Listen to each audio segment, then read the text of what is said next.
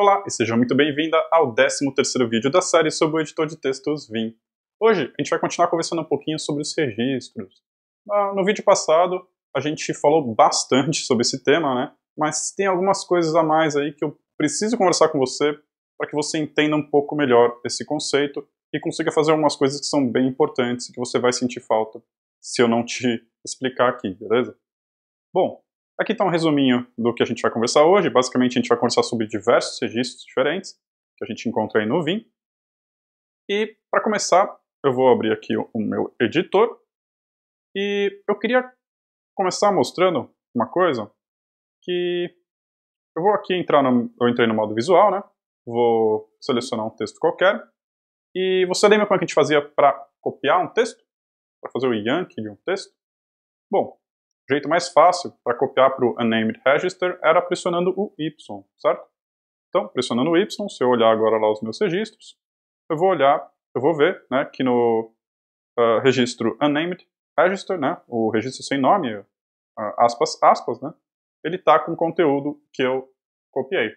Tem esse outro registro aqui, que é o aspas zero, que ele também está com o mesmo conteúdo. Então ele copiou para esses dois registros. Daqui a pouquinho a gente vai conversar sobre esse registro zero, tá? Por enquanto, vamos ficar aqui no registro Unnamed Register. O aspas, aspas, tá? Então eu vou aqui para o final do meu texto. Vou abrir um espaço aqui. E como é que a gente está fazendo para colar até agora? A gente está aqui no modo normal e eu pressiono o P, paste, certo? Mas, vamos supor que eu estou aqui no meu modo de inserção, escrevendo um texto qualquer. Opa, qualquer. E eu quero colar o texto. Como é que eu faço? Do jeito que a gente aprendeu até agora, eu teria que pressionar o ESC para ir para o modo normal, pressionar o P para colar e pressionar o I ou o A para voltar, ou qualquer outro comando ali que eu quiser, para voltar para o modo de inserção, certo? Então eu teria que sair do modo de inserção, ir para o modo normal, colar, depois voltar para o modo de inserção. Isso não é uma prática muito legal, né? Então, tem uma forma de a gente colar o conteúdo do, do, que tiver em um registro diretamente no modo de inserção, que é através do Ctrl R. Quando eu pressiono o Ctrl R, aí eu tenho que falar qual registro que eu quero acessar. Então, no meu caso era o named register, então é o aspas, e ele vai colar o conteúdo para mim. Então, para eu colar o conteúdo de algum registro no modo de inserção, é só pressionar Ctrl R e falar qual registro que eu quero fazer o paste, que eu quero colar aqui no modo de inserção. E ele continua no modo de inserção, então eu posso continuar escrevendo meu texto. Eu consigo colar o conteúdo de um registro sem sair do modo de inserção. Isso é bem prático, né? muitas vezes. Bom, então a gente aprendeu aí o, uh, uma forma de colar no, aí no modo de inserção, uh, mas eu queria conversar com vocês um, um tema bem importante. Eu não vou conseguir mostrar aqui a fundo alguns detalhes, porque eu estou num computador aqui que está rodando macOS. Se eu tivesse num, um sistema operacional Linux rodando a interface gráfica X11, eu conseguiria fazer umas coisas a mais aqui que eu não vou conseguir mostrar, infelizmente. Mas eu queria comentar com vocês, porque provavelmente muitas de vocês estão no sistema operacional Linux, e aí pode ser útil para vocês, tá? Mas mesmo no Mac, e mesmo no Windows, que também tem uma, um comportamento meio parecido com o do Mac, que eu vou mostrar aqui para vocês, é, o que eu vou ensinar também é bem útil. O que, que é? Bom, vamos supor que eu estou aqui uh, num, num programa qualquer aqui fora do Vim no meu sistema operacional, tá? Então, no caso, eu estou no meu Firefox, estou aqui na minha rede social, eu vou aqui, eu vou copiar um texto qualquer, vou copiar o nome do Ivan aqui. Quem não conhece o Ivan, pesquisa sobre esse cara. Ele é o autor do Elm, uma linguagem de programação sensacional, recomendo fortemente, adoro as palestras dele. Bom, mas voltando aqui para o Vim, Bom, apertei o botão direito, copiar, e eu copiei o conteúdo para o clipboard. Lembra, a gente conversou um pouco sobre isso no, no vídeo passado. Eu falei que quando você está no sistema operacional e copia algum conteúdo, ele é, vai parar no tal do clipboard. Em português seria área de transferência, né? Então, clipboard, área de transferência. Mas é uma área de transferência do meu sistema operacional, não é do Vim, né? É do sistema operacional, uma coisa compartilhada pelo sistema operacional. Como é que eu faço então para colar isso no Vim? A gente viu que aqui no meu Vim, a gente estava colando conteúdos que estavam em registros, a gente não estava colando conteúdos que estavam na área de transferência, certo? Mas olha que interessante. Se eu entrar no modo aqui de comando e digitar registers, olha o que vai acontecer. No registro asterisco, apareceu o nome do Ivan. Olha só que interessante. Então, uh, esse cara no macOS, tá? Aí que entra a questão que vai depender um pouquinho do seu sistema operacional. No macOS, quando eu copio algum texto para minha área de transferência, quando eu dou um Ctrl C ali no Firefox ou qualquer programa que eu estiver utilizando, ele vai copiar para o clipboard e o meu Vim vai enxergar isso como sendo o registro uh, asterisco. Então eu consigo compartilhar o conteúdo uh, da, dessa tal de área de transferência com o Vim sempre através desse campo asterisco. No Linux, no X11, na interface gráfica X11 do Linux, e eu acredito que outros sistemas Unix também, desde que não seja o Mac, uh, que estejam rodando X11, vai ter um comportamento um pouquinho diferente. Se eu estivesse rodando Linux aqui, eu teria uh, dois registros que são importantes. O registro mais e o registro asterisco.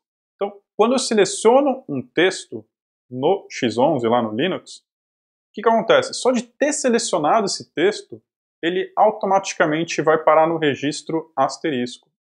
Vai estar tá lá. Não preciso copiar o conteúdo. Automaticamente, só de selecionar qualquer texto, ele vai parar no asterisco.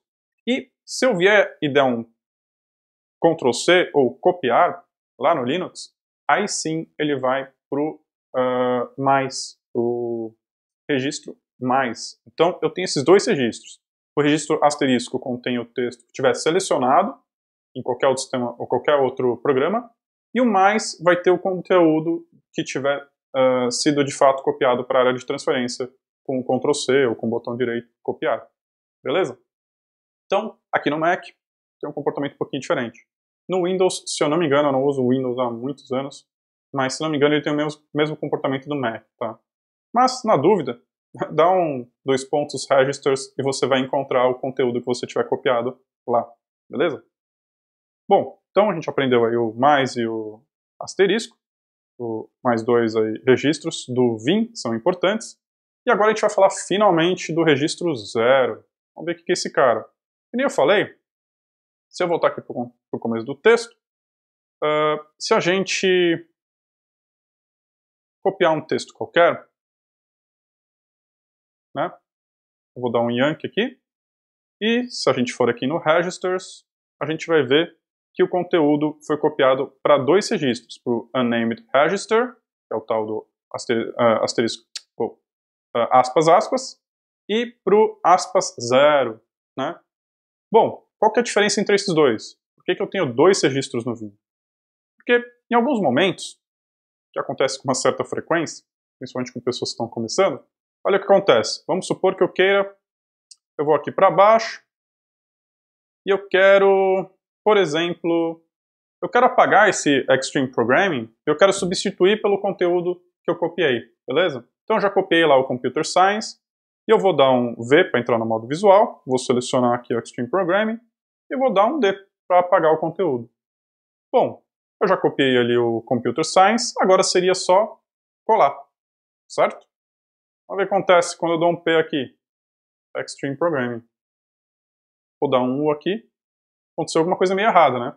Eu queria colar o Computer Science, mas eu colei Extreme Programming. Foi o texto que eu removi. Por que está acontecendo isso? Se a gente olhar lá os registers, vai ficar mais claro.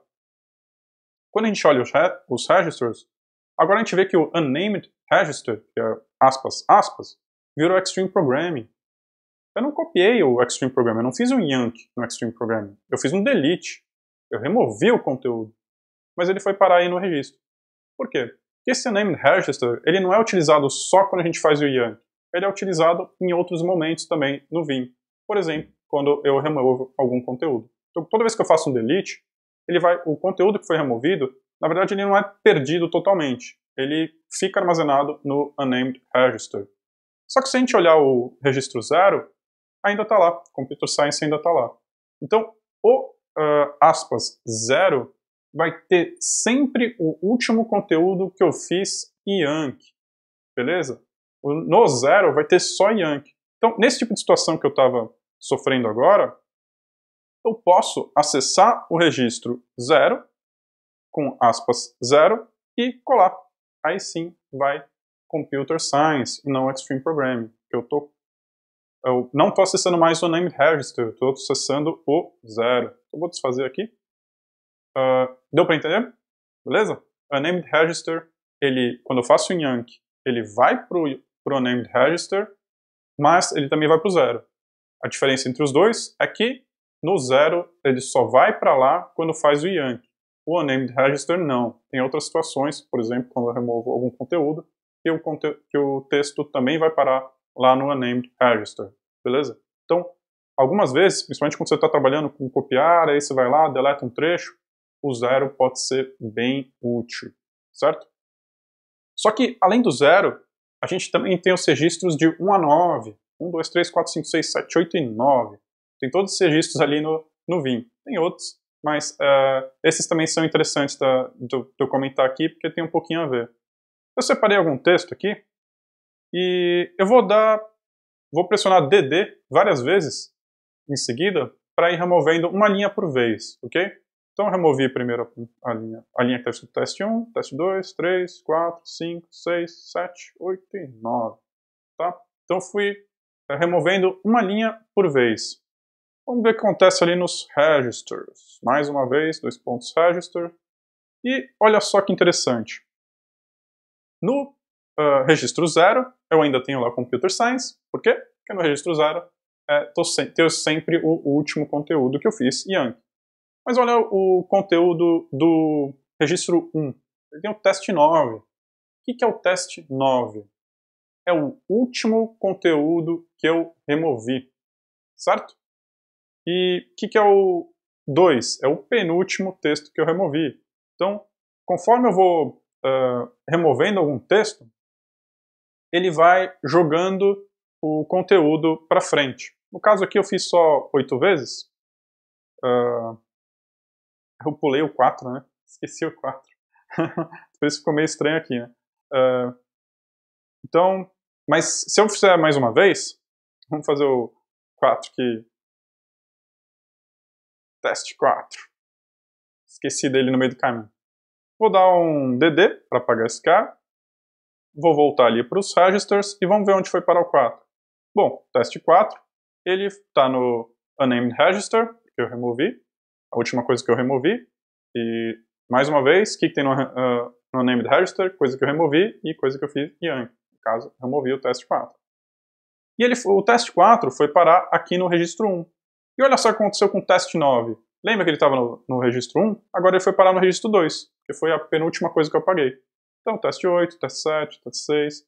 Tudo que eu vou apagando vai andando, uh, começa no, no 1 e vai movendo como se fosse uma fila mesmo, tá? até chegar no 9.